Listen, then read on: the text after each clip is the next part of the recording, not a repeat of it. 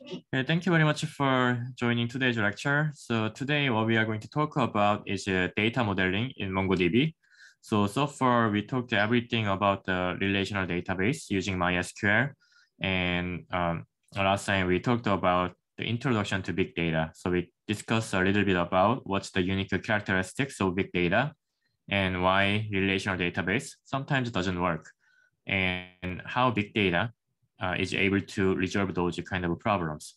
And among NoSQL, there is many different technology, but uh, we are going to use MongoDB, which is the most popular uh, database system uh, in NoSQL. So we are going to use that. So let's just start today's class. And also uh, today's class, we'll have a lot of like step-by-step -step, uh, hands-on exercise. So uh, if I asked you last time to install MongoDB and Robo3T on your laptop or PC or Mac. So if you already installed and set up everything correctly, you may use those to follow what I'm doing here. So I go at the slow pace so that you have enough time to catch up and follow what I'm doing here. So Robo3T is a client software for MongoDB. So uh, you install the MongoDB community server on your PC. So that's the server where the data is stored. And Robo3T is a client software tool, which we are going to use to connect to MongoDB server and to send a request to the MongoDB server. So we are going to use this. And in the last time when I shared the, uh, how to set up MongoDB and Robo3T slide, um, there was in, like uh, all the information about how to connect to MongoDB server from Robo3T. Basically, uh, you can turn on the Robo3T and you can follow these steps. let me just uh, show this and let's uh, just do this together. So here, in my case, uh, I already installed the Robo3T here. So if you installed everything, including Robo3T, you can click this to open it. So I click Robo3T and open it. Then this will be the first screen you will see. Uh, let me change the resolution a little bit. Let me see. Uh, should be fine. Okay. Mm, let's see. Okay.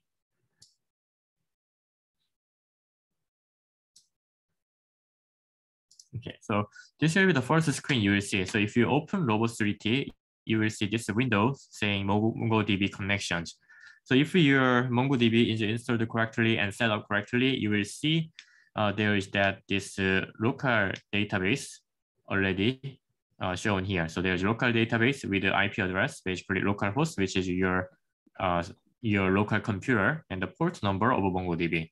So if you see this like this, then you can just click this, select it, and you can click connect. Then you should be able to connect to your MongoDB server if you don't see this option, you can click this create uh, option here on the top left corner of the window. If you click this, it will ask you to put necessary information. So you can type the information as shown on the slide. Then if your MongoDB server is installed correctly, you should be able to connect to your server. So you can do that. And if everything looks okay, you can click connect button to connect to your MongoDB server. So let me close this welcome tab. And this is the screen here. So now I connected to my MongoDB server. So here you can see that the local DB, the local database, which is MongoDB server that I have in my computer, which is shown here correctly. There's a system folder and configuration folder and test IB folder like this. So I made some folders here, but basically if you see something here with the local DB, then you should be uh, like you are good to go. So you are connected to the MongoDB server correctly. So all the information is here. So let's get back to the slide.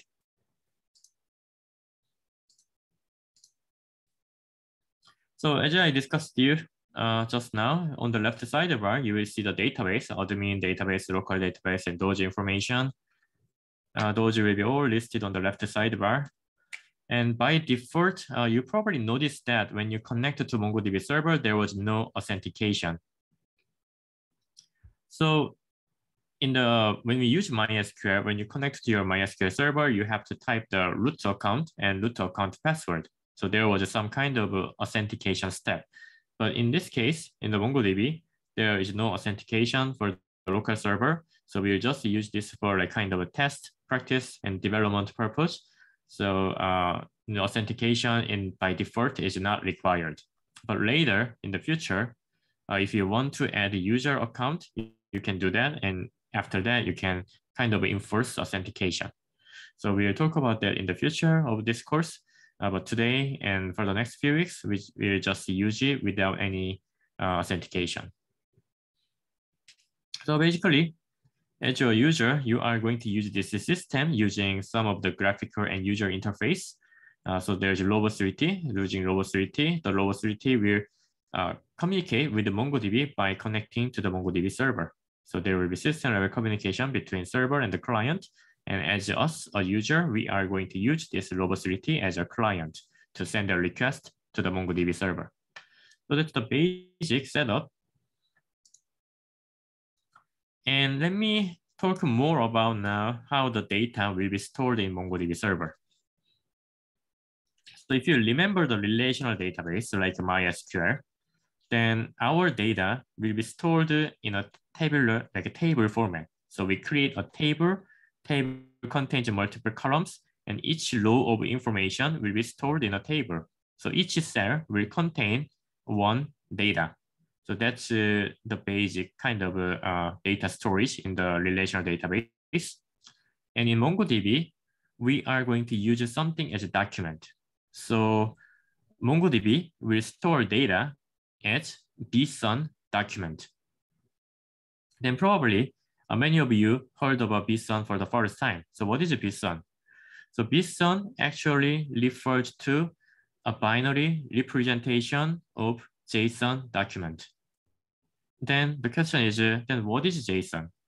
So JSON is JavaScript object notation. So if you are familiar with JavaScript and this type of data, then probably you heard about JavaScript object notation.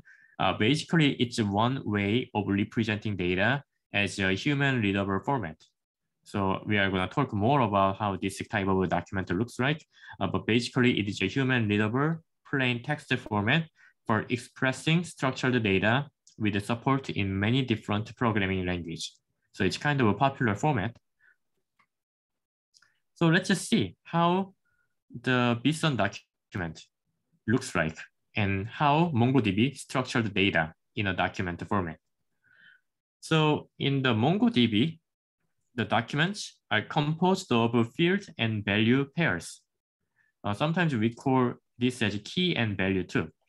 So in the MongoDB, uh, we use the term field and the term key uh, kind of interchangeably. So you don't need to worry about this. We are using these two terms interchangeably.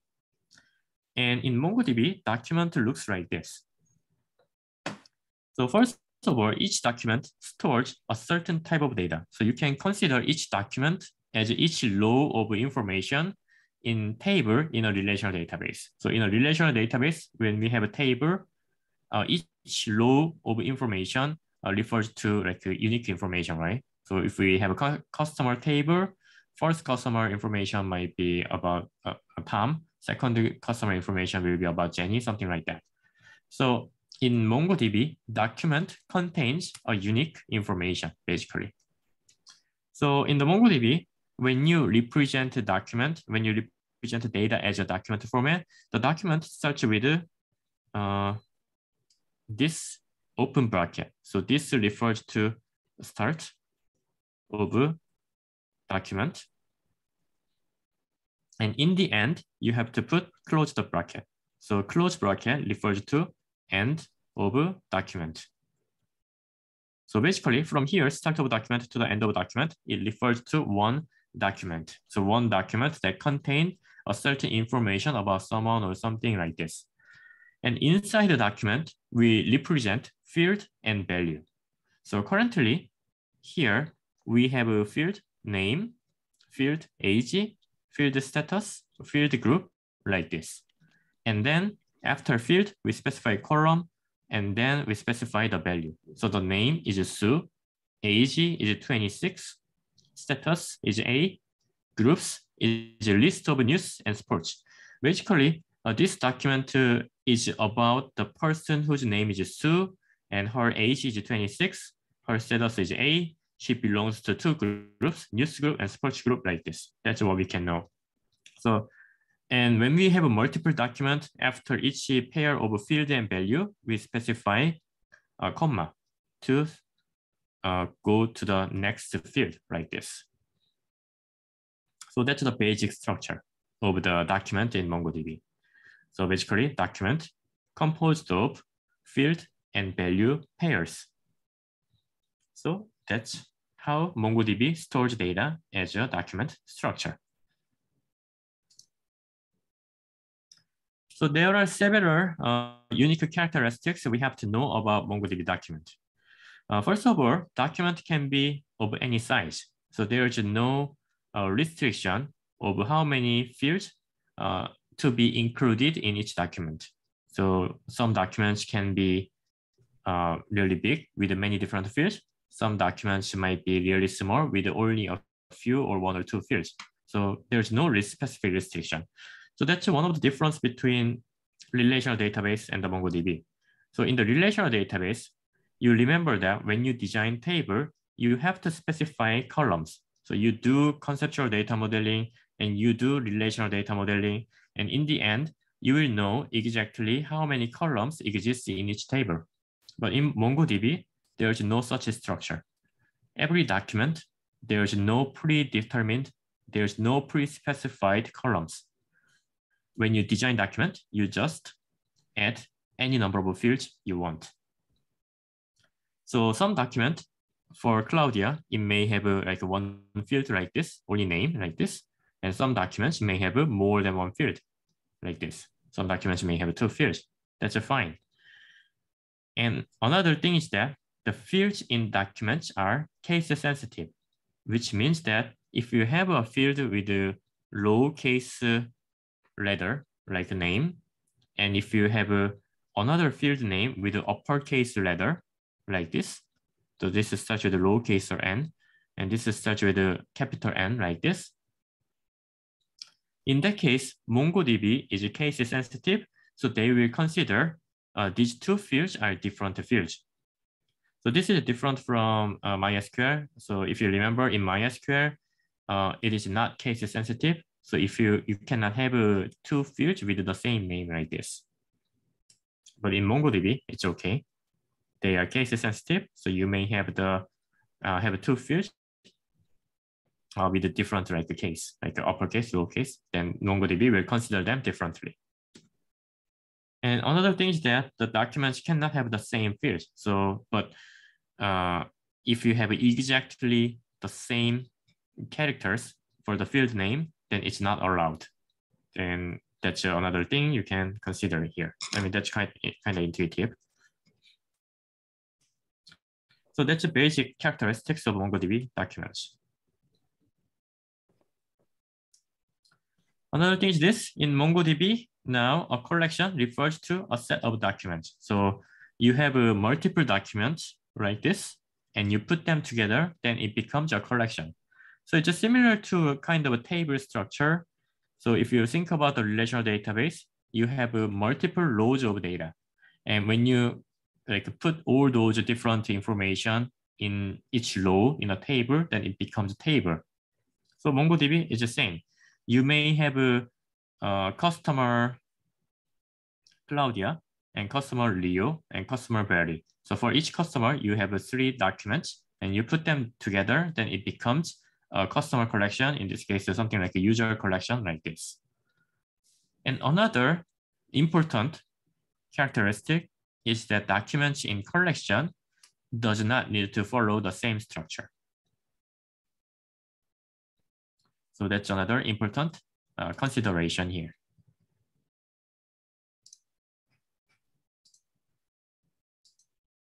Okay, so in this case, it's possible that like one document in the user collection may have a friend field like this, and another document may have a job field, and another document may have a gender field. That's totally fine. It's not necessary for every document in the same collection to have the same uh, field. It's not necessary. Every document is unique. So every document may have a different fields. That is totally fine in this case. So that's why uh, when you talk about NoSQL, uh, we are saying that it supports a flexible data structure because there's no restriction over what kind of field you can have. There's no restriction how many fields you can have, something like that.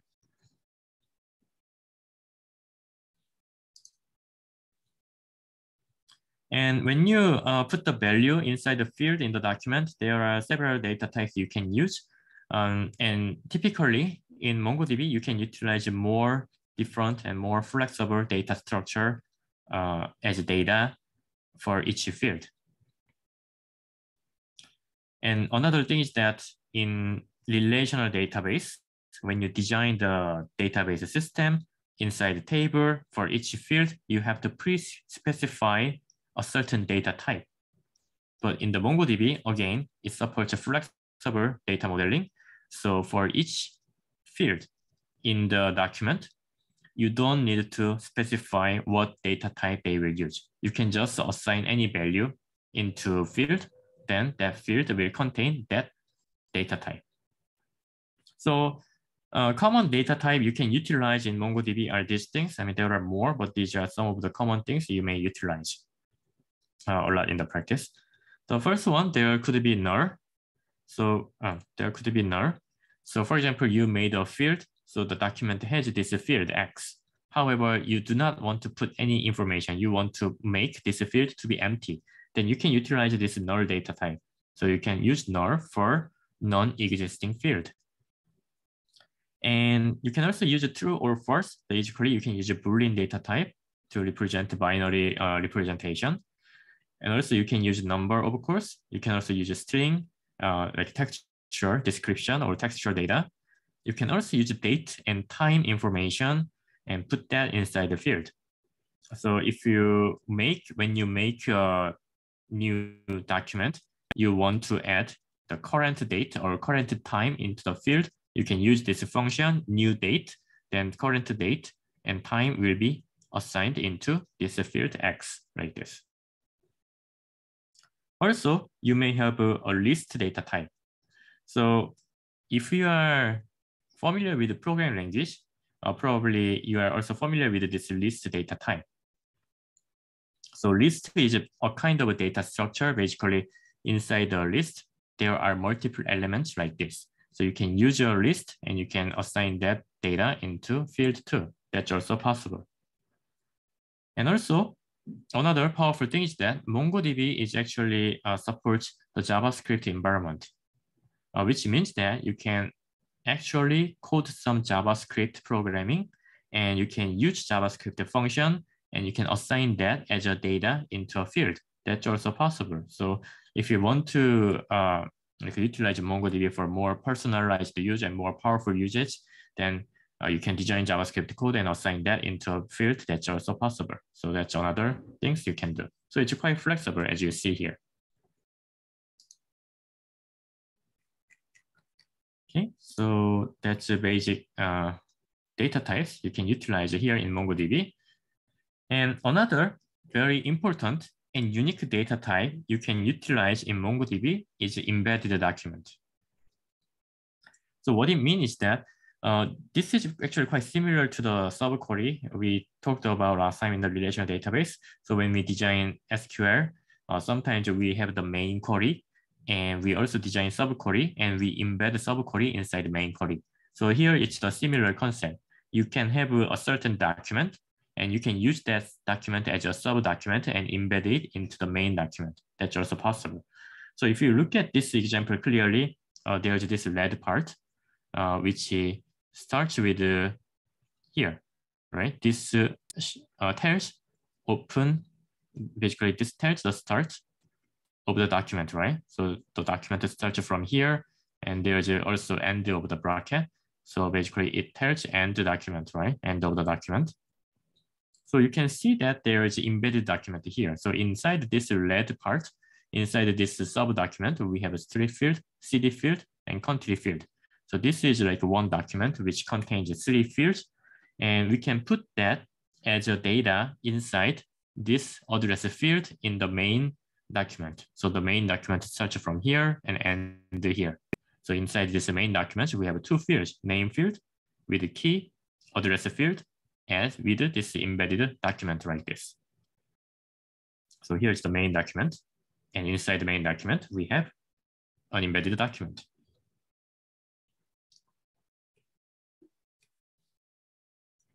So later, uh, we'll talk more about the importance of embedded document, but embedded document structure is actually very um, important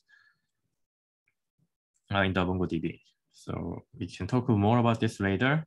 And now let's uh, explore a little bit about the Robo3T and let's try to communicate with the MongoDB a little bit to get familiarize ourselves with the, uh, the basic environment and basic system here. So there are many information uh, like uh, I put on the slides. So you can follow this to try by yourself too. So I try this uh, to show you how we can do it. So uh, if you want, you can also follow and you can also check this, how this works.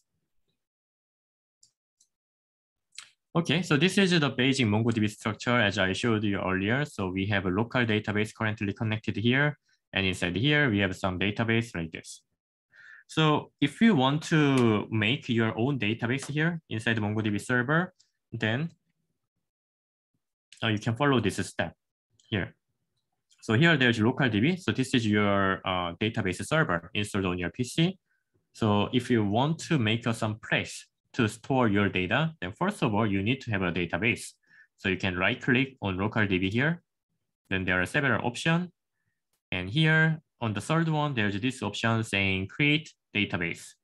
So if you want to create new database on your server, you can click this create database. Then here in this uh, uh, window, you can type a database name which you want to create. So another information here is this. Basically, it shows the connection to your local database server. So it's, uh, it's showing which database server you are connected currently. And if you type some database name, that database will be created in this server. So we can type something like uh, test BA, something like that. And let me click create. Then you can see that test BA database is here created like this.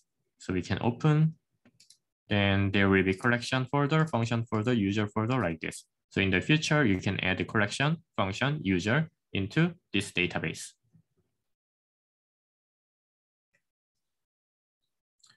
And another thing is that once you have a database, now you can utilize this database. So you can do something on this database.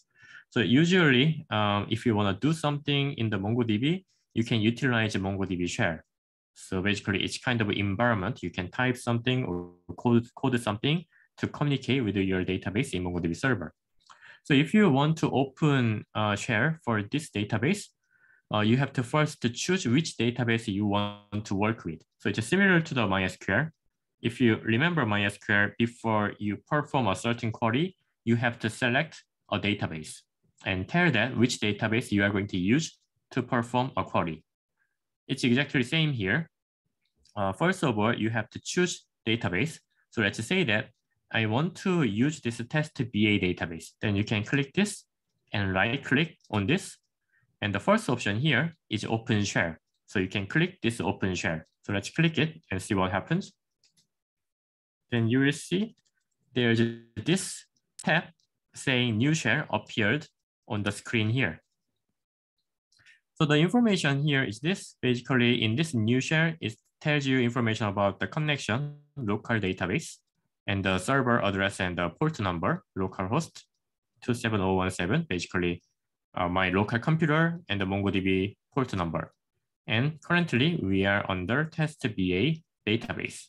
So if you type something here, if you code something, that will be performed on this test BA database on this local server. That's what we can know here. So that's the uh, shell, the MongoDB shell environment is here.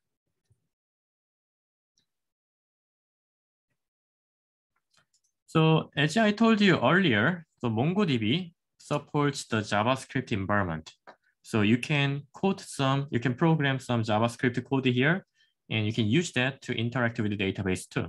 So that's also possible. And you can also utilize MongoDB query function here to communicate with the MongoDB server too. So you can do many things here utilizing this shell here. And if you type some code, uh, so in the future, if you type some code here, and if you want to perform the code, you can use this play icon on the top menu here. If you click this, whatever you type here will be performed.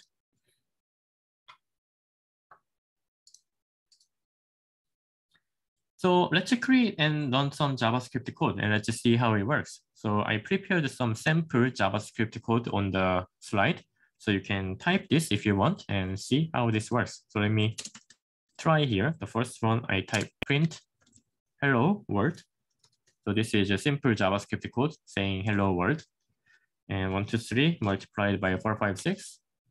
And I can also define the variable k initialized with zero I can use the first statement and iterate the value i from uh, 0 to 100. And then on variable k, I can add all the number from 0 to 100. So basically, I want to know what is the sum of the number from 0 to 100 and all these things. So I type this uh, simple JavaScript code here and then if I want to perform again, I can click this play icon on the top. So let me click this. Then the results of my code will be shown here. So you can see there are three tabs. The first tab is for the first part of the code. Uh, basically, for this first part of the code, the results is shown on the first tab, hello world. For the second code, the results will be shown on the second tab. So one, two, three multiplied by four, five, six will be this number. And the last code here, the results will be shown here on the last tab. So if I sum up all the number from 0 to 100, uh, it will be 50, 50 like this, 50, 100, 50 like this.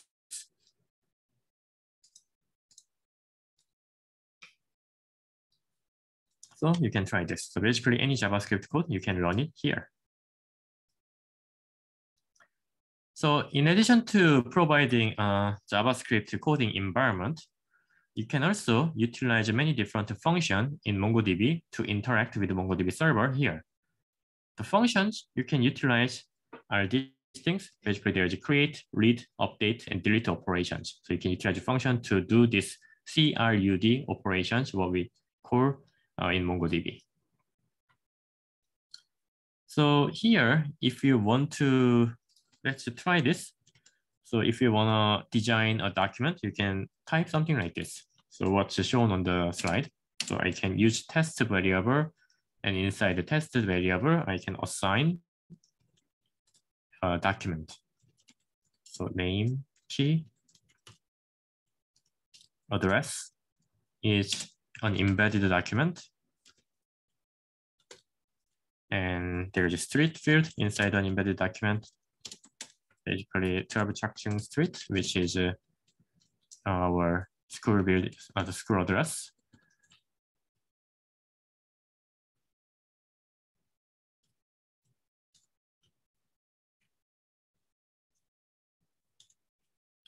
And city, Shatin, country, Hong Kong, China, like this. Okay, so we type this and then if you perform this, if I click this play icon on the top, this is the result. So basically inside the test variable, we assigned this document and here it says there's one document here. So it shows some information. So currently it says uh, there's one document and the value, there are two fields. Yeah, we have two fields, right? Name field and address field.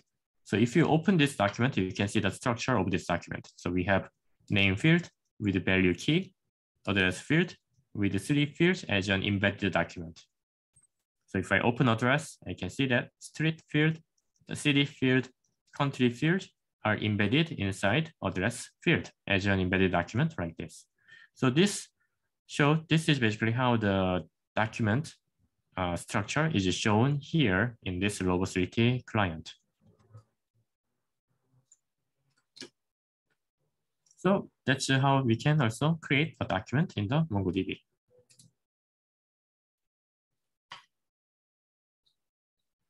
Okay, so now the thing is this. So we are able to create document like this in the MongoDB. However, once we make a document or once we have a document, we want to store this, right? So it's just similar to the relational database. In the relational database, when we have data about something or someone, we want to store it inside a table. In MongoDB, when you have a document to describe a certain characteristic, we want to store that inside a collection. So we discussed this earlier. So when we have multiple documents, we store that, we combine that together, and we call it as a collection. So in this case, let's try to create collection. So creating collection is quite uh, straightforward. So under test BA database, we have this collection folder. So if you want to create new collection to store data, then you can simply right click on this collection folder. So on this collection folder under test BA database, right click on it. Then there's create, uh, create collection option here. So you can click this create collection. Then it will ask you to make a new name for the collection. So currently it shows additional information like which server you are connected to, which database you are using. So if you make collection, it will be saved inside this test BA database.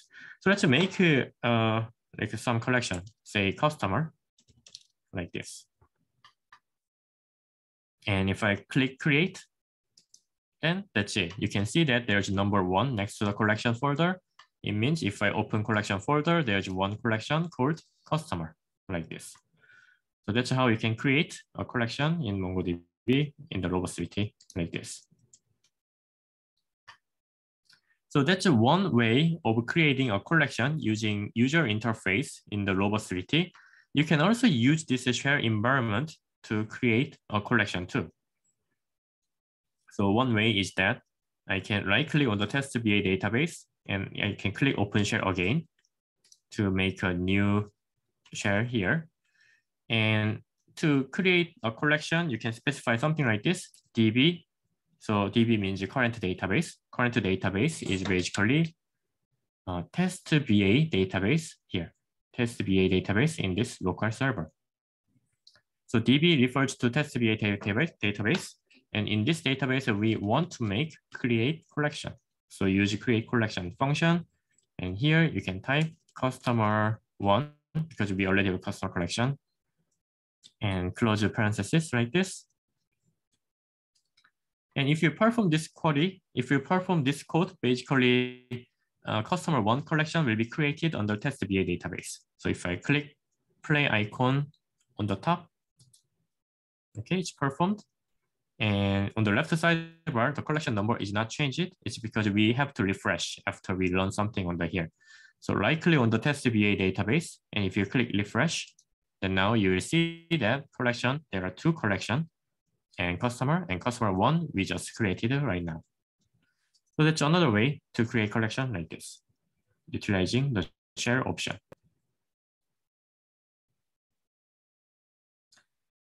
And other operation we can perform in MongoDB in using uh, Robo3T are these things. So there are create, read, update, delete operations we can perform. So let me go through it, uh, go through one by one briefly. So to perform this operation, first of all, you can simply right click on your collection and then you can choose which operation you want to perform. So create is for insert documents for create, view documents for read, update documents for update, remove documents to delete some of the documents you have inside your collection.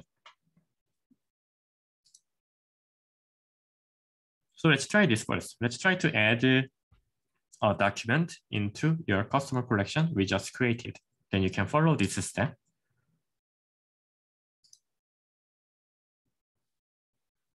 So here,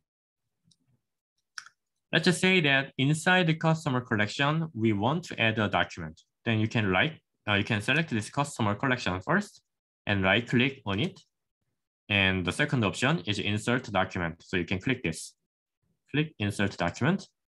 And it will show this window. So here, uh, basically you can see that there is a um, open bracket. So start of document, close bracket, end of document. So between this, we can type a field and value we want to add inside the document. So let's type something what we see on the slide. something like this.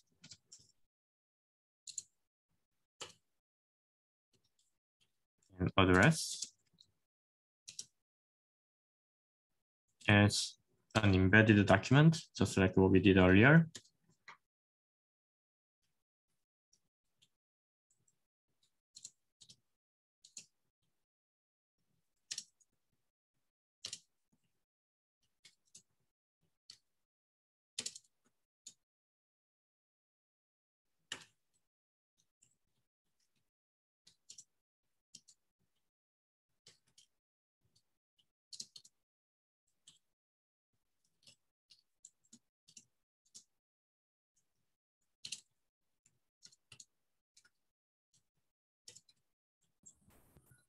Okay, something like this. So after you type everything, um, there are some options here. As you can see, there is a uh, validate option. So if you want to make sure what you type is current document structure, you can click validate option. Then it tells you whether there is any error or not. So in this case, JSON is valid. So we don't have any error in this document.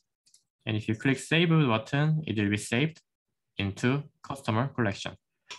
Yeah, so that's the one way of uh, saving a document into collection using the user interface of the Robo3T. And also there are other ways to store document into the collection. So on other ways are utilizing this shell option. So in the shell environment, we can also type and we can actually type the function and code to insert document into the collection. And this option is actually more powerful, especially if you want to uh, add multiple documents at the same time. So the option you can use are this. Uh, you can use insert function. So you can specify database, the current database, and then you can specify the collection name where you want add your document into. So customer collection, we want to add the document into, then specify customer and insert use insert function. So, and then specify the document. So this document will be added into customer collection like this. If you want to add multiple documents at the same time, you can do the same thing, db.customer.insert function. And here you can specify a list of documents. Then all the documents inside the list will be added into customer collection. So here are some of there are some of the examples. So the example on the left side is basically adding one document into customer collection. And the example here on the right side are adding three documents into customer collection at once by utilizing insert function. So you can, uh, let me do this really quickly just to show you how this works. So this can be done very simply. So in this, let's use, utilize this shell because it's the same shell using this test to be a database. So we can make something like the C1. Let me just do the example on the right side. Then we can make the one document with the name Claudia, and I can make another document with the name Leo, and I can make another document with the name field, and the value is a very like this. So I created the three documents, and if I want to add just one document into customer select customer collection, then I can type db database dot customer collection name dot insert and C1 like this. Then C1 is the document name with Claudia. So that one will be added into customer collection. If I want to add multiple documents into customer collection, I can specify insert the function. And inside here, I can specify a list. And inside the list, I can specify multiple documents like this. So if I perform, both will work fine. So type this, and if I click play icon on the top, here is the result. So C1 is this, C2 document look like this, C3 document look like this, and this part, insert function, it's done here. So insert the one record. And this part is done here. It says insert one record because there's one uh, list data type, but actually it adds uh, all the documents inside the list. So by doing this, we added all these three documents into customer collection. So that's another way of adding document into collection by utilizing insert function.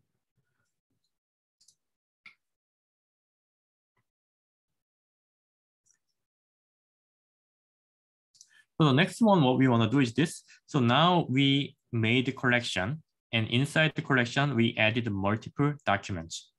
That what we want to do is that we want to retrieve those documents. We want to check what kind of information is stored inside the collection. Then we can utilize this option. So you can right click onto a certain collection you want to see, and you can choose view document option. Then you can see all the documents inside a collection. So let's try this. So here, uh, let me right click, let me choose the customer collection first. And let me, let's, uh, if I want to see what documents are stored inside this collection, I can right click on the customer. And the first option says view documents. So you can click this. If I click view documents, here are the results. So we so far we added the four documents and they are all here. So basically in this screen, each of this is the document we added. So if you open the first one, it has a name field, address field with three embedded fields. Second document has name Claudia, third name Leo, fourth name Barry, like this. So we have all the documents we added so far into a customer collection like this. And another interesting thing is this, like uh, uh, this one, ID field we when we design our document, we never edit this ID field, right? But when we add the document into collection, this ID field is generated automatically.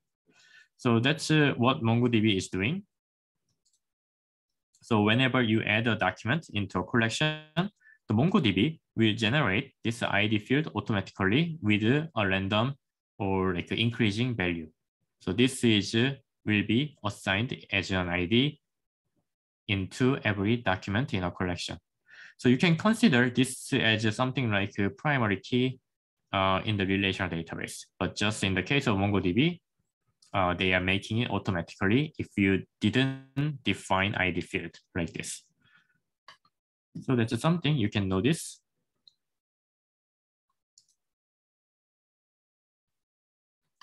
And also there are shell script options. So you can also uh, use the MongoDB shell to see documents stored inside collection.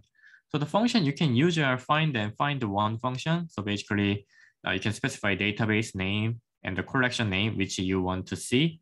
And then you can use the find function. And if there's nothing, then it will show entire documents stored inside customer collection. Also, you can use find one function. If you use find one function, uh, only the first document stored in the customer collection will be shown as a result. So it's something like this. So if we try, I can close this and I can right click on the test VA database, click open shell, and here I can type db.customerCollection.find function. And also I can use db.customerCollection and find one function like this. So if I perform this, the results between these two are slightly different, uh, like this. For the first one, if I use find the function on the customer collection, the entire documents will be shown as a result like this, right? So all four documents will be shown here as a result. But if we use this find one function on the customer collection, the first document in the customer collection will be shown here as a result. So let's say that you don't want to retrieve the entire document from a collection. You just want to see what kind of information is stored inside the customer collection. Then you can just use find one function to retrieve one document and see and check what kind of information is stored in that collection. So that's what you can do utilizing these two functions. So that's the read document operation, basically.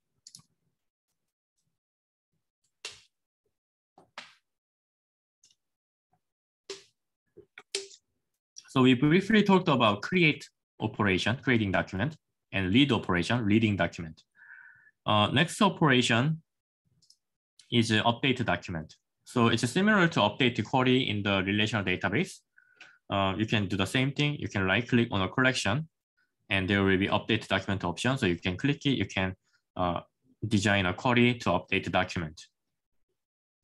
So in this case, for update GUI option is the same as the shell option because uh, if you utilize this user interface option, basically the Robo3T will prepare this uh, update function. So inside here, you can design your query, you can design your update rule, you can design option, update option.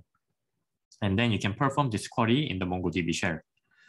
So it is exactly the same as the shell option. And this part, uh, actually, we are not going to talk about today.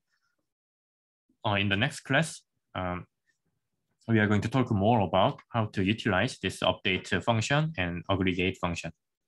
So just uh, you can just know that this feature exists there and we are going to talk more about this next time.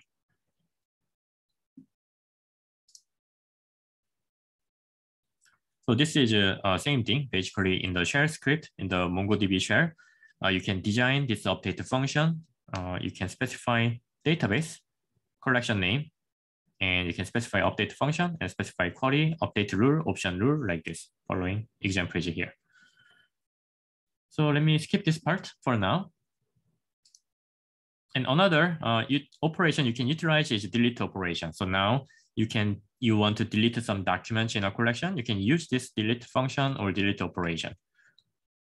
So again, for this option, the graphical user interface option in the Robo3T is exactly the same as the shell option. So we'll just go to the shell. So on the database, you can right click and you can choose open shell and there you can use this remove function. When you use remove function, you can delete the entire document in a collection or you can specify a some rule, some query to delete a certain document in a collection. So there are two different ways. And both can be done by using remove function. So you specify database dot collection name, which you want to delete documents from. So customer collection dot remove function. And here, if you specify simply open bracket and end bracket without nothing inside, then it will delete all documents inside the collection. And between this open and end bracket, if you type some query, like a name field should be key, then it will delete only those documents that satisfy query you specify here. So in this case, we are saying that delete all the documents when name field contains key like this. And here, there's one thing you have to notice. So I write down this here. Basically, if you want to remove the entire document from a collection, let's say that we have a customer collection, uh, but somehow you want to remove all the customer information and you want to start again, then instead of using remove function, there is actually a better way. The better way is using a drop function. So drop function is used to drop a collection. Basically, remove function is to remove documents, but if you use drop function, it will remove the entire collection at once. So how to use? You can specify database dot collection name, which you want to remove, dot drop function like this. Then it will delete the collection with all documents inside. So if you want to remove all documents in the collection, uh, actually it's better to drop the collection entirely. Why? It's because the speed of dropping collection is much faster than removing all the documents. So it's something like this. So let's say that here you have some collection. So collection is basically a collection of documents, right? So you have many different documents inside one collection. And what's happening is that if you use remove function, this this remove function will delete one document one by one. So if you use remove uh, function to delete all the documents, then basically this function will go here into collection and look at the first document and it will delete. Look at the second document and it will delete. Look at the third document and it will delete. So if you have a lot of documents in a collection, it will take a long time because it has to delete one document one by one like this. However, if you use the drop-in collection, basically use the drop function on the collection, then this function will simply not checking all the documents, it will simply go to the collection level and it will simply remove the collection. So that's why dropping collection is much faster. So here are some examples. So what I'm doing here is this. Uh, I type this following code in the MongoDB shell, and my purpose is generating two database, ABC1 and ABC2, uh, each with 50,000 documents. Oh, actually, it's not the database, two collections to be more correct. So let me type this and let me explain how this works in the MongoDB shell. So let me show you this.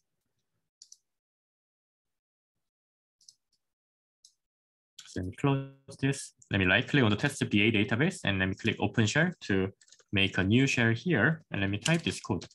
So L1 is a list, empty list. L2 is also empty list. I use first statement. I iterate from zero to 50,000 like this. And on the L1, which is empty list, I use a push function to add document. So document is just a random document I just uh, made up. So it has two field, two field, and bu field. And the data there are actually uh, not really meaningful. I'm just uh, making a document, like a random document, and putting it inside L1 and L2.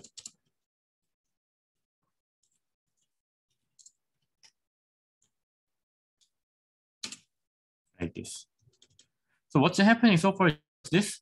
So to briefly explain again, so L1 and L2 both start with the empty list. And here I use a for statement to iterate for 50,000 times. And doing this 50,000 times over iteration, uh, I make this uh, uh, document. So I, I do for fun uh, with like two fields. And these documents will be added into L1 and L2 using the push uh, operate uh, function. So in the end, L1 will contain a list of 50,000 documents and L2 will also contain a list of exactly same 50,000 documents. And then I use this function database dot abc1. So currently we don't have any collection with the abc1 name, right? So I make a new, so MongoDB will create a new collection automatically if we do this. In ABC1 collection, I add, I insert L1, basically a list of 50,000 documents.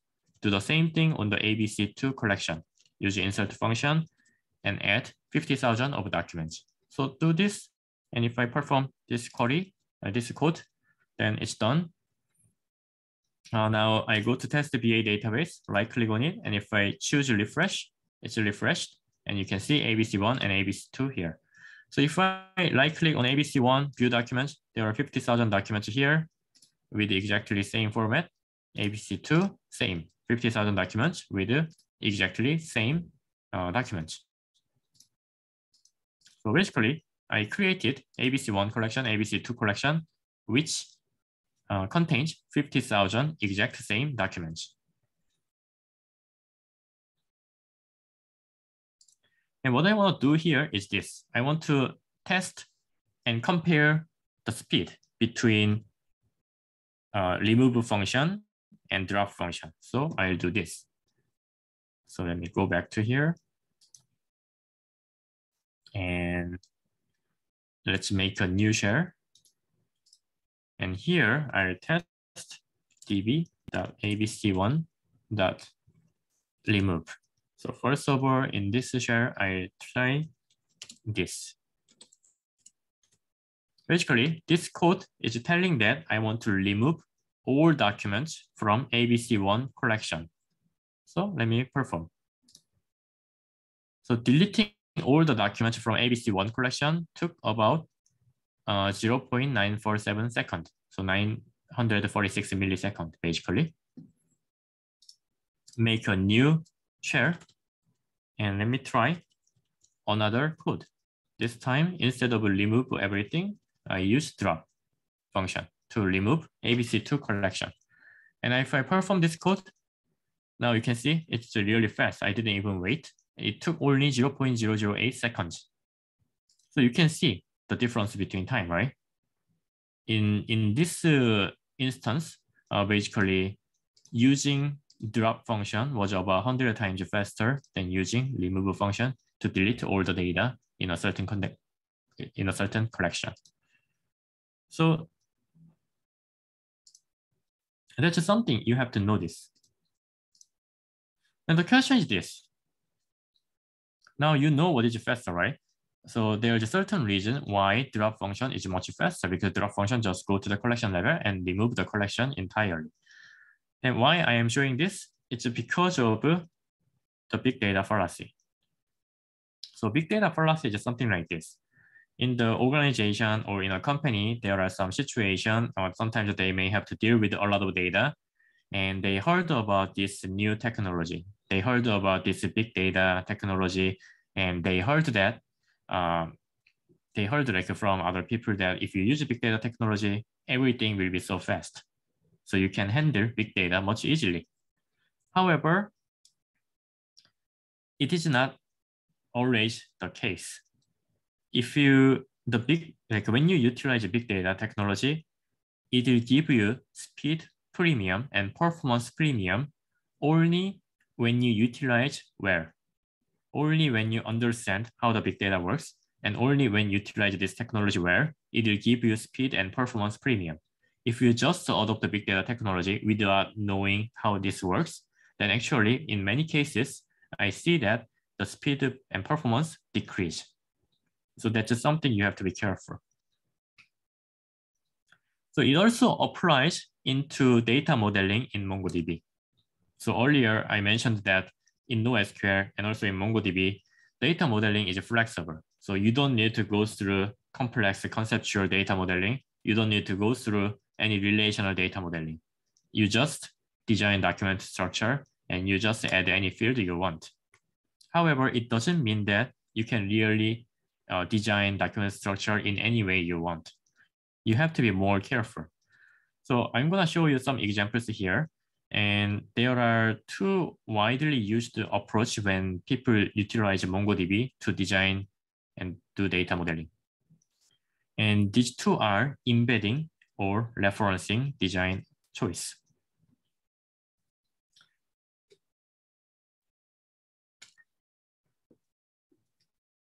So let's assume, uh, let's think about this scenario.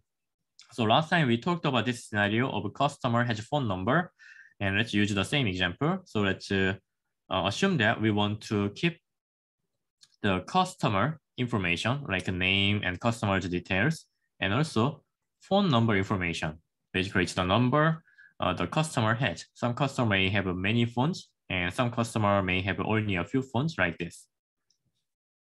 In this case, there could be two possible and two potential design choices in MongoDB when you design the data model. First option is embedding. If you use embedding, basically, you will make a customer collection so customer collection, each document in the customer collection will contain customer information. And then you will embed a list of phone number into customer document. So that's possible. So or like if a customer has a multiple phone number, you will make a list of multiple phone number and you just embed it inside customer document. Another design choice is referencing. So you make a customer collection and you make a phone number collection. So inside the customer collection, customer information is saved. Inside the phone number collection, uh, document containing phone number information is saved. So for each phone number document, we can add a reference to the corresponding customer document. So this sounds very familiar, right? So usually last time when we talk about relational database, basically we are doing this. So relational database is about a relationship between multiple tables. And to make those relationship, we are utilizing primary key and foreign key. And foreign key contains a reference information to the primary key in another table. So referencing is basically similar to relational database approach. So assume that we have these two design choice and based on each of the design choice, if we provide the documented structure to contain data in a collection, then it will be like this. For the embedding approach, we'll have only one customer collection and each customer document in the customer collection will look like this. So a document here, it will have a CID, customer ID, it will have a name information like customer information, it will have a phone number field, and in this phone number field, we embed a list of uh, phone numbers like this. That's a possible design if we use embedding approach. Basically, phone numbers are here embedded inside customer document. Another approach we can utilize is a referencing approach. If you use a referencing approach, basically we'll have a customer collection and phone collection separately. Each, uh, in the customer collection, each document will have information about unique customer. So customer ID one, his information will be saved here as a separate document inside the customer collection. And phone number will not be saved here. Phone number will be saved inside phone collection. So for phone number 12345, we add a reference of this customer. Who has this who has this phone number, which is customer ID one. Also, for phone number 77777, customer ID one is the owner of this phone number like this. So we can use this as a reference to the customer document. Now, there are two potential approach and which data model design should we adopt? So here, this is a tricky part. We have to think about it carefully. And we can compare this with the relational database design. So this is what we talked briefly last time. So if we are going to uh, build something like this in the relational database system, we'll have a customer table, we'll have a phone number table, and then we'll utilize primary key and foreign key to make an association between these two tables. And then later, when we want to retrieve information, we use something called join. So join is a process of combining data from multiple tables. So we'll use uh, this join to match data from two or more tables. So CID here will be matched to CID here to retrieve the information we want to know. And what we talked last time is that join is uh, there, but the join is a very costly uh, process. It's very time consuming, it's very time taking, uh, that's why people are, uh, that's one of the disadvantages of a relational database. That's what we discussed the last time. It's because for each customer, we have to scan entire phone number table. For the next customer, we have to scan entire phone number table again to find this match. That's why it takes longer. That's why it's very time consuming. That's what we discussed last time. So in the end, we uh, find out that if we have n number of information in the customer table, and if we have m number of information in the uh, phone number table, then total number of operation the MySQL will perform using uh, join will be n multiplied by m. So it will be a huge number and a lot of operations the relational database need to conduct. So it will be slow. That's what we discussed last time. However, is it true? Will it be really slow like this if we use a relational database?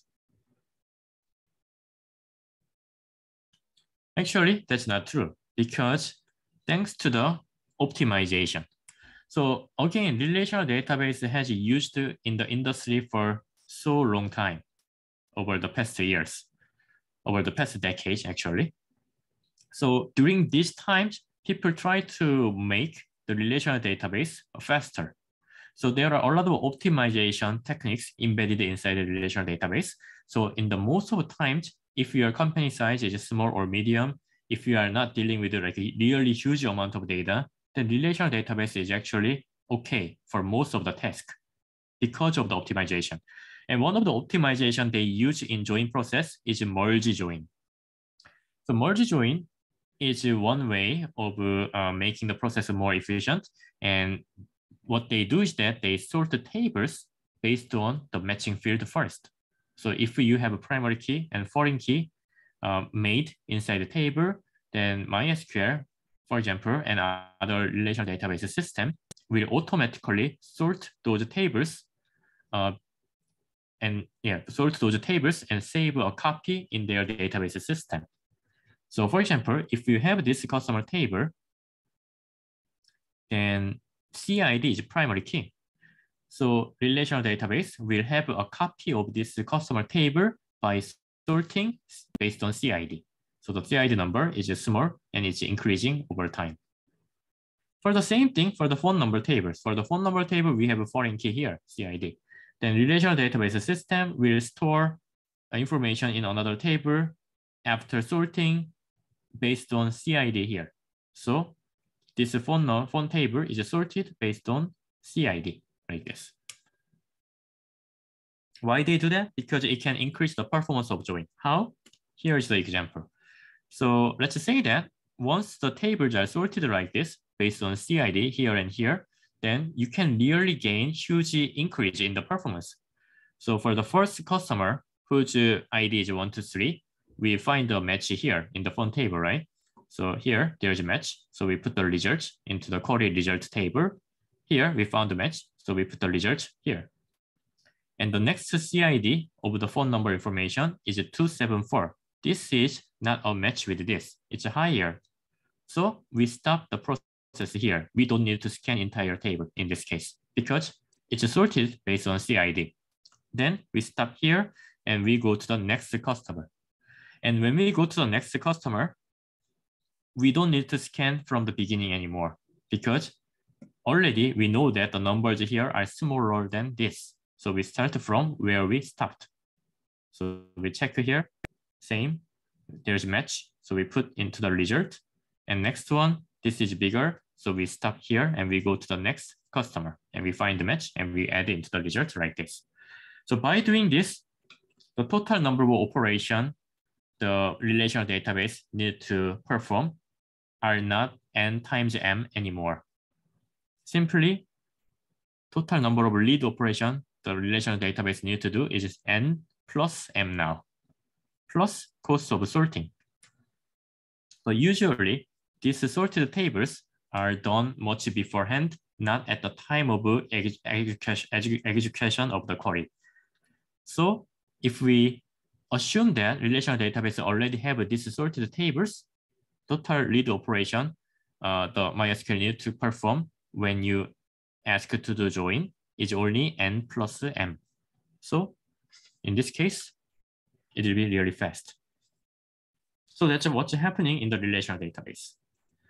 So relational database is not always slow, depending on how they optimize the process and how you are also utilizing it. Then the question is this, if you use NoSQL like MongoDB in this situation, it will be faster than relational database. Let's just say that you use the MongoDB and NoSQL, which is a like big data system basically, which is more complex than the traditional database system. So you put a lot of effort, you designed something, and you use the new technology, but the speed and performance is worse. It's much slower then there's no point of using this, right? So that's just something you have to consider. So let's look at this. We earlier presented the embedding and referencing approach of a designing document. If you use the embedding approach like this, all the phone numbers are inside customer document.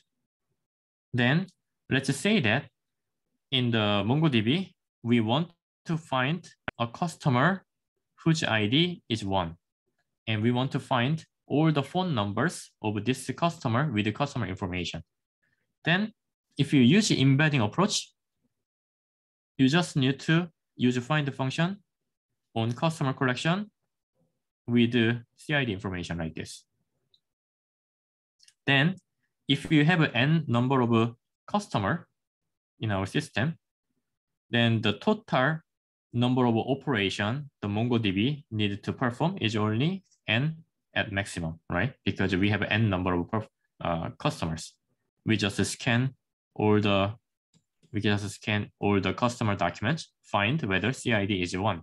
If we find a match, we retrieve phone number information together with the customer information. So total read operation we can take is n. So in this case, it's good, right? Because it's faster than using relational database. Relational database, it was n plus m, so it's faster in this case.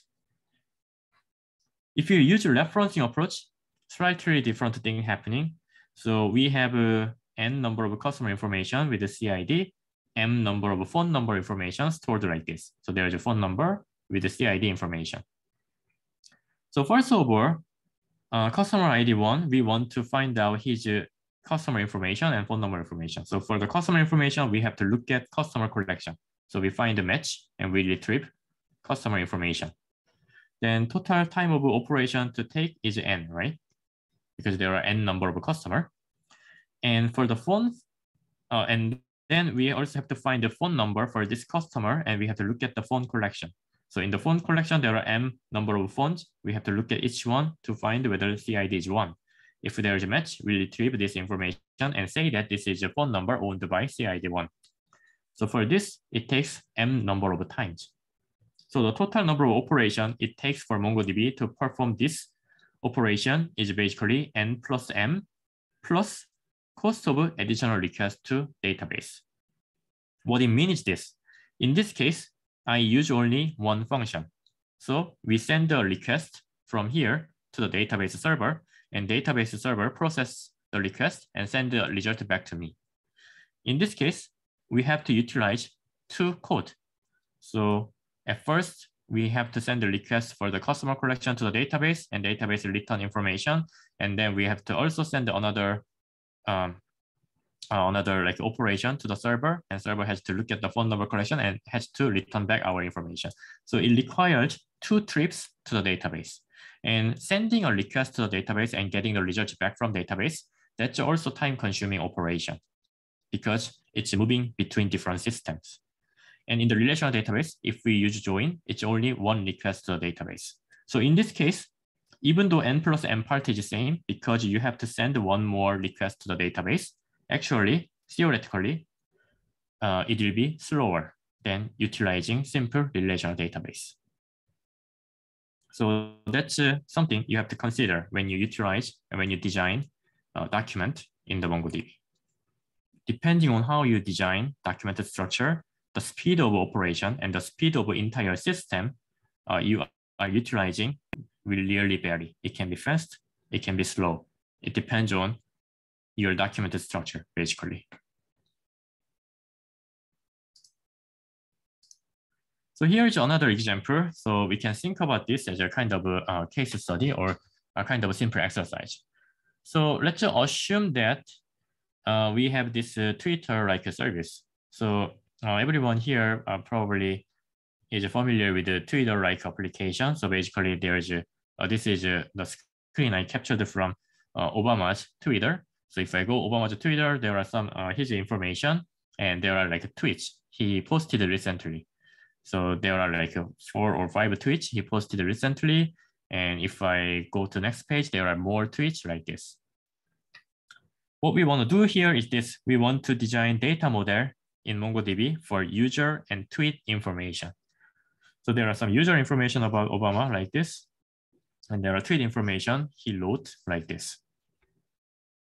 And when we go to Obama's account, Obama's Twitter account, we want to show this tweet information and the user information together as soon as possible, as fast as possible, because speed is the most important thing in the online service. So in this case, should we use embedding or referencing? So that's the question. So let's think about both cases, what happens. If we use embedding approach for this task, our user document inside the user collection will look like this. So we have a user collection. Each user document contains user information, like user ID one, and maybe username and other information. And the tweet information will be embedded inside user document because we are using embedding approach. So we will have a tweet field and we will have a list of embedded documents like this. So first tweet, second tweet, third tweet like this. In this design, there are several issues.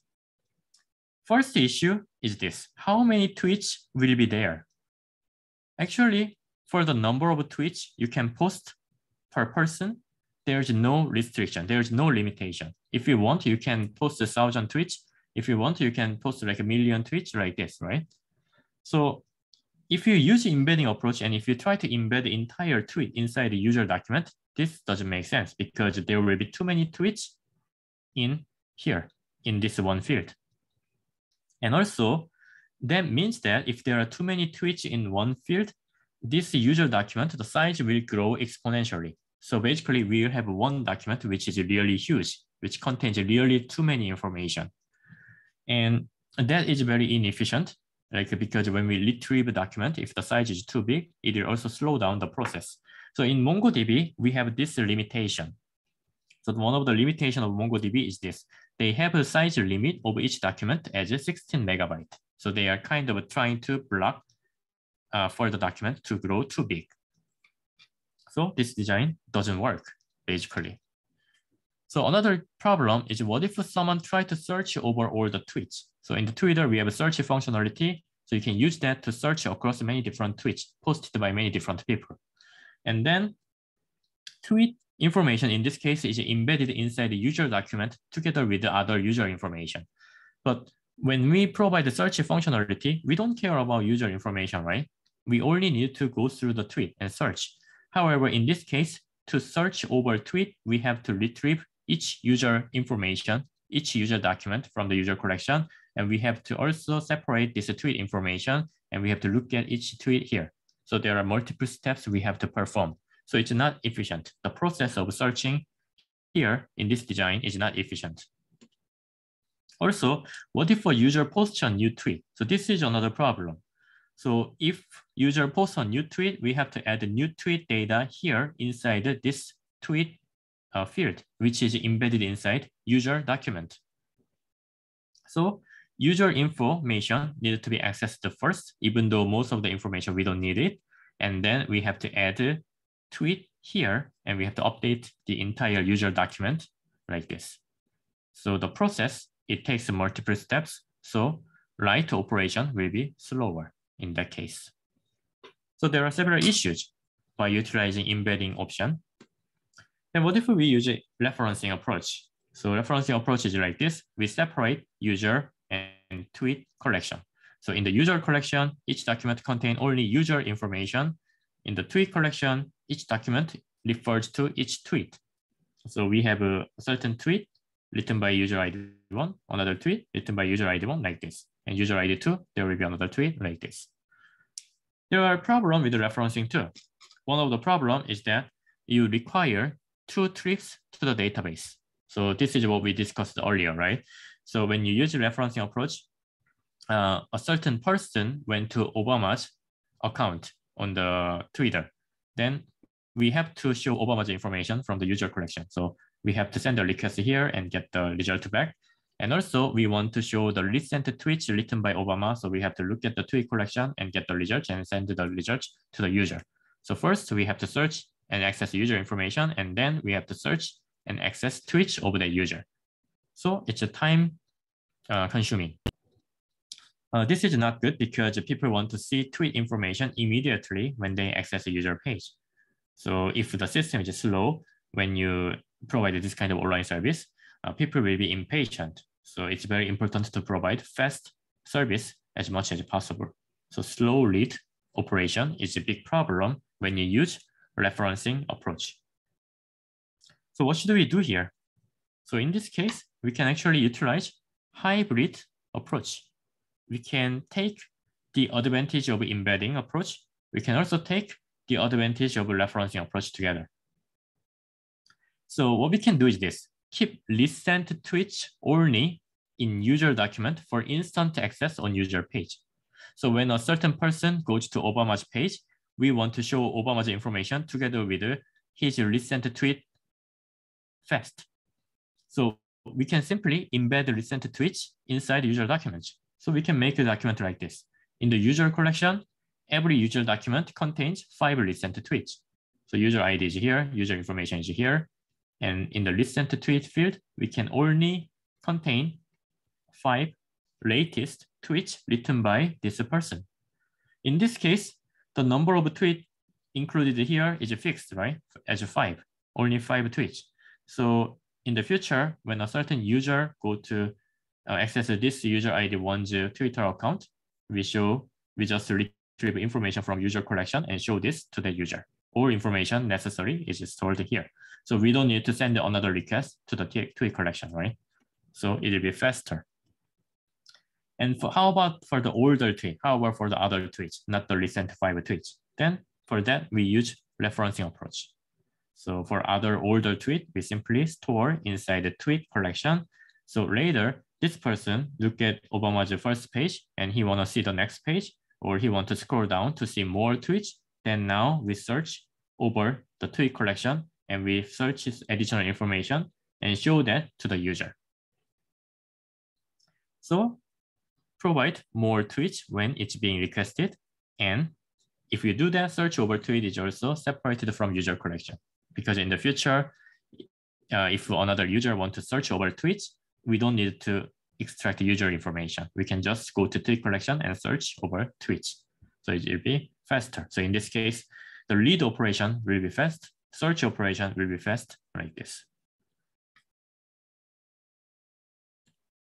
So that's why sometimes you will see this.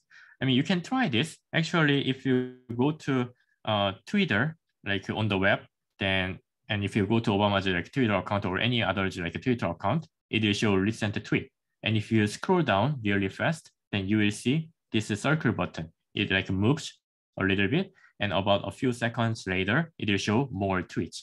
It's because uh, they, uh, they may not use exactly the system that I implemented here, uh, but they are utilizing something like this. So they are putting the recent information together so that they can show it fast. And later, when people are requesting more, then they search database in another collection and they show additional information to the user like this. So that's why you are seeing this kind of design in many of the online services system these days. So I received some questions, so let me uh, look at this. So this, uh, oh, so this is going to ask, do recent tweets to, be stored in the tweet collection also? So uh, this is a little bit specific question, right? So basically here, uh, you are asking whether this recent tweet also need to be stored here, right? Uh, it depends on uh, your design. So I think uh, in this case, yes, I would do that actually if I implemented this system. Because uh, if I don't store this recent tweet here, I cannot make correct search functionality. So that's one thing. So I would do that in this specific case. And another question was this. Why is it not okay to directly search within a number tweet collection, uh, tweet collection in a referencing design? Why is it not okay to search within? Uh, Let me see. I'm not sure whether I understand the question correctly. So you're asking, so in the referencing here, referencing design, why is it not okay to directly search within number of tweet collection in reference? So in this case, actually the search operation will be fast, right?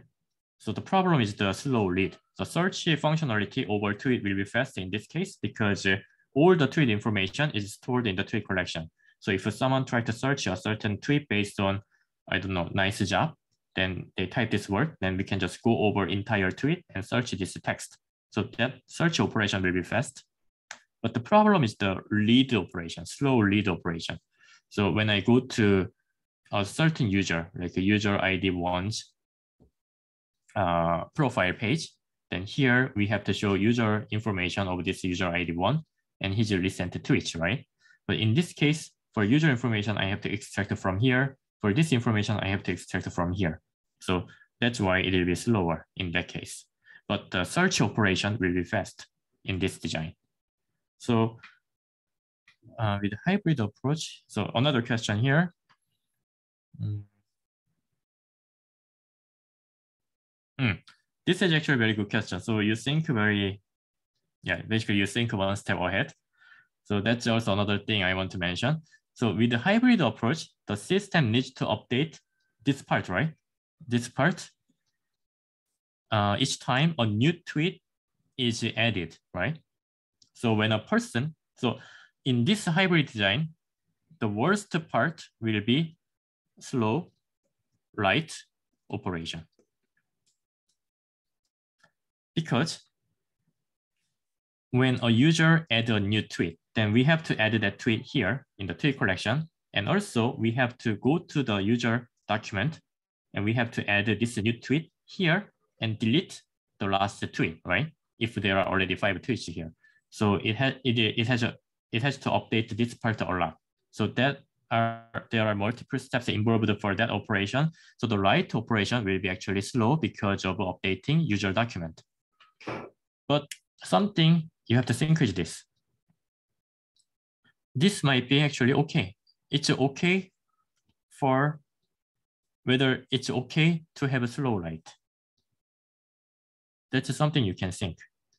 So there are many different operations you provide in your online application. And in the big data system, you have to think which part is the most important and which part is most critical for performance. So one thing is this. Read operation, search operation, write operation. We have like these three main things here, right? So what is the most important? If you have to choose what is the most um, important among these three operations, what would you say? So I would say the read operation is the most important. Why? Because of the because this is most frequently performed operation. Most of people who are using social network will utilize most of the time to read posts, right? So this is most heavily used and most frequently used operation. And if read operation is slow, many people will not use that service. So in this social network service, in this kind of online service, usually in many cases, providing fast read operation is very important. And second important operation is search. Many people also search. Like in YouTube, you search something. In the social network, you search something like that. So search operation is the second important operation. It should be fast. And the least important operation is actually write in this case, in this specific case. Why? Let's say that I wrote down something, I added a new tweet into the system. It takes five seconds for my profile page to be updated. It's okay, right? However, you want to read something. You clicked some article. It takes five seconds to wait to read a certain article. You will not be fine, right? So that's because uh, many people are gonna perform read operation. And the write operation, you write something and you will it, it doesn't matter, right? After five seconds, other people will see. That's fine, right? They will see anyway five seconds later. So that kind of a trade-off you have to consider in the online service. So write operation, even though it's slow, usually it's okay. Read operation, if it's slow, people will not use your service. So that's uh, one of the important thing you have to consider. So that's something um, yeah, basically something important to consider when you design documented structure uh, in the NoSQL system. So here we are using the case of MongoDB, but even for other big data system, you already have to think how your application will be performed and what type of operation is most important and in which part of operation I have to guarantee faster performance. So you have to think about that when you design a big data system. So that's a a very good question you uh, actually had. So you were thinking one step ahead actually. And yeah, that's my answer basically. Okay, so basically uh, between embedding and referencing choice, uh, referencing choice or document design, uh, these are uh, one of the, these are some of the like unique difference. So embedding usually it's good when the document will be small, the sub document is small. Like if we, if we only need to embed five recent activity, it's okay. But if we have to embed everything, it's best it's better to do referencing and it's better to separate. If you use embedding, it's good when the data does not change regularly because again, as I told you, uh, based on previous example, when something is embedded, updating that information is costly. So if the information does not change regularly, it's actually good example to embed inside the main document. And volatile data, the information that changes regularly, uh, it is better to do referencing. And documents that grow by a small size, it's okay to do embed. And documents that has a large amount, uh, it's better to separate so that the document size is not too big. And also data that you often need to show access together for the fast access, fast read operation, it's better to embed. Data that you often exclude from results, you don't need to embed. So to provide the fast read operation, embedding is usually better. To provide the fast write or read, uh, not read, search operation, referencing is usually better. So that's uh, the main difference between uh, these two choices. So that's the summary of design choices here. And uh, I also gave you some of the examples. So let's uh, talk a little bit about uh, other cases here. So for data modeling in NoSQL, uh, in these other cases, what do you think? Should we use embedding or referencing? So for example, user account preference. So in the social media these days, you can make your uh, profile as a public or private or something like that. So user account preference. Think embedding will be better or referencing approach will be better? Like, should you embed this preference in the user account and user document, or do you have to make another collection to store account preferences separately? What do you think? Okay, many, yeah. So many of you say embedding, and that's true. So in this case, it's very small document, right? It's just uh, uh, some preference of the user. And also when we show user account information, we also have to uh, show some information and hide some information based on their preference. So embedding is better in this case. How about this? A list of friends in social network. So in social network, you can have a friendship with other users and uh, you may have a lot of friends or you may have a small number of friends depending on your activity. So list of friends information in social network. Should we use embedding or referencing? What do you think? You can use the Zoom chat box to type what you think. Mm -hmm. Okay, so you're saying referencing. Yeah, that's correct. So this one, referencing would be better, right? One of the reason is that you don't know uh, how many friends you will have. It can, it can grow exponentially over time. You may have a lot of friends. So embedding all the friends list inside user document together is very inefficient approach. If you want to include a certain like a few recent friends, then you can also use a hybrid approach. But embedding would do that. Embedding only will not be a good approach basically. So recent activity, I mean, it's the same as what we did earlier, right? So recent activity, we can just embed. It's not a lot, like, like 5 activity we want to show together with the user account information that we can just embed. And how about this content generated by user, something like YouTube? So in YouTube or other like this kind of entertainment uh, social network, uh, people usually make a video and they make a, a unique content and they may they do like this kind of activity. And those contents, should we embed inside the user document or not? And hybrid and so in this case, there are concerns. So one concern is uh, how big this content will be. If the content is too big, embedding is actually not a good approach in this case because uh, if you embed like a big amount of information in user document together, when we only need a user document, we this information will be retrieved together. So it will be too much uh, like a uh, process. So in this case, if the content is big, like YouTube, like a video with like 50 minutes or 30 minutes or one hour, two hour, then in that case, because of the size, a referencing approach might be better.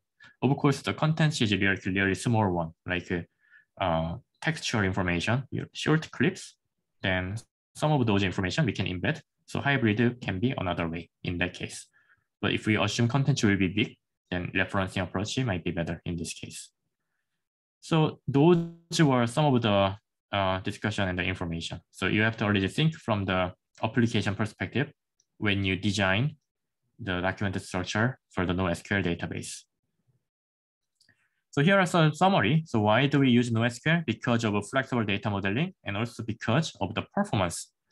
However, flexible data modeling doesn't mean that you can do anything. Actually, it's more difficult because a relational database system, you just follow some steps like conceptual data modeling, relational data modeling, then you will have your database implemented. But here in NoSQL, in MongoDB, you have to be more carefully think, and also you need some creativity in terms of designing document structure to guarantee maximum performance. So in NoSQL, I would think that data modeling is more like an art rather than science.